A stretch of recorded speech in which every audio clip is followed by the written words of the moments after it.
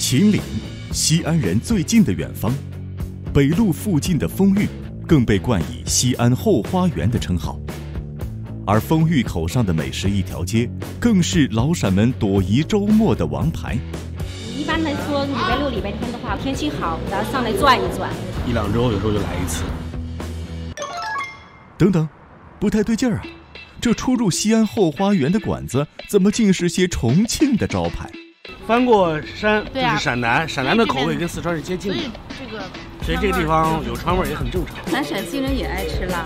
吃麻可能不如四川人吃的多，但是吃辣的话，其实陕西人不比四川人这个平均水准要差。看来吃辣这事儿，老陕果真不成多让。就是这馆子这么多，哪一家最有特点呢？这一片儿，你看，大部分都是什么石锅鱼啊、铁锅炖啊，就只有他们家这个是辣子鸡，还比较有特色。辣子鸡非常棒，地道的重庆味儿。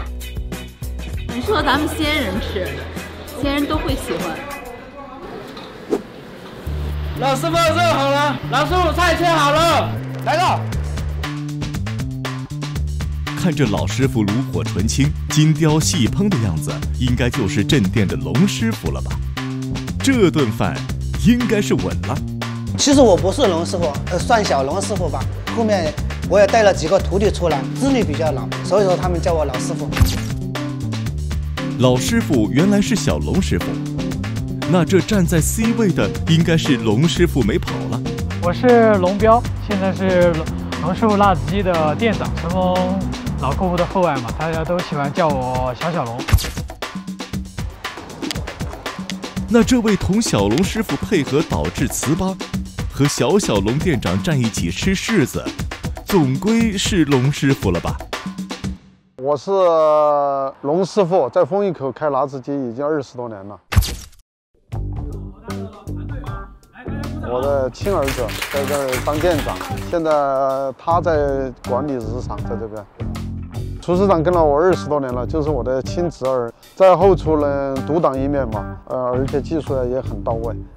能得龙师傅本尊的认可，还被后厨称作老师傅，这小龙师傅的拿手菜一定不会太简单。哎，他家的那个泡菜很好吃。然后刚才你看我们俩吃了两三盘了。龙师傅的泡菜是一绝，因为啥呢？因为他在地下室里面有几十个坛子，双椒鸡里面也有独特的泡菜。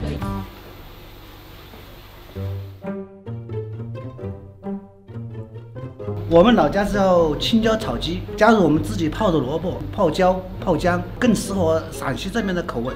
老师傅果然有狠料，除了常规的调料，能一剑封神的，当然还是这泡菜坛里的老辣之味儿。这来自两个境界的辣，赋予了双椒鸡得天独厚的辣道。火的奔放，鸡肉的滑嫩掌控，泡椒的暗涛汹涌，一辣封喉，双辣入魂。特别香，所以这个呢就成了我们的一个念想了，时不时就会来吃一次。双椒鸡更下饭，辣子鸡呢更适合于闲的时候聊天的时候吃。而且这个辣子鸡呢，它是用油煸了以后，也是那种香辣香辣的。啊，我们为了适合于西安人的口味，我们做了适当的改变。一个颗粒啊宰的大一点了，还有一个麻辣呀，都减了一部分，就是一种江湖气息、江湖菜。所以这我们这体现了，就是量大、盘子大。特别大，分量比较足。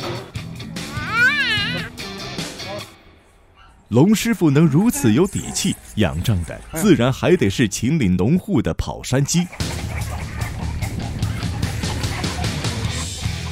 这跑山鸡果然名不虚传，奔跑起来健硕有力。但这一代天鸡，最终还是得变成龙师傅刀下的鲜辣之味儿。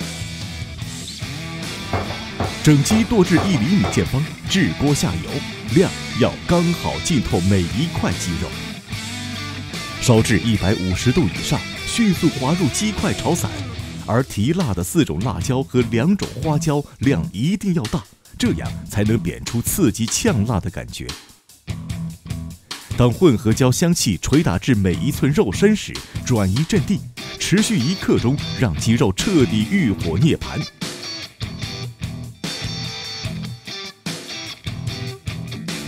时机一到，大火收汁，而最后的爆炒，则是龙师傅对火功的拿捏展现。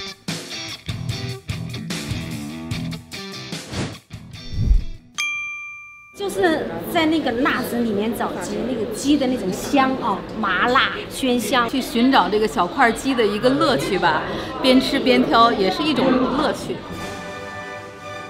辣里寻鸡千百度，翻找出放入嘴中的那一刻，是舌尖欢呼雀跃的呐喊。一块还没咽下，已经开始猎寻下一块目标，嘴唇火辣的上下颤动，热腾腾的焦香麻辣也从嘴里穿越嗓子，再直通胃里。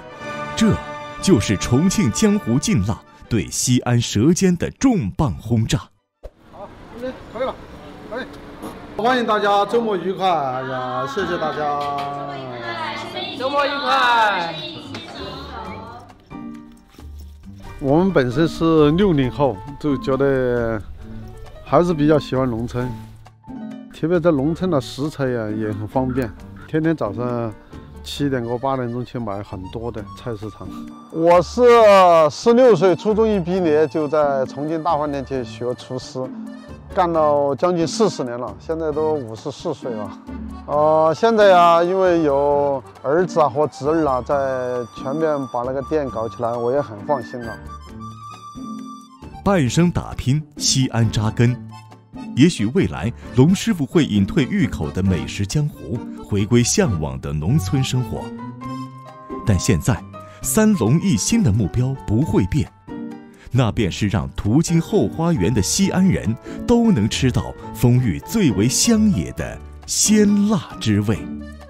在咱父亲和堂哥的基础上啊，做西安最好的辣子鸡。